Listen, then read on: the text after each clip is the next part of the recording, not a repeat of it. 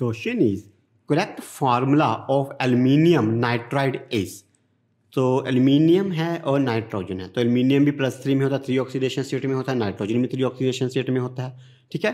तो three three oxidation state दोनों की तो it should be A L N so answer should be A L N okay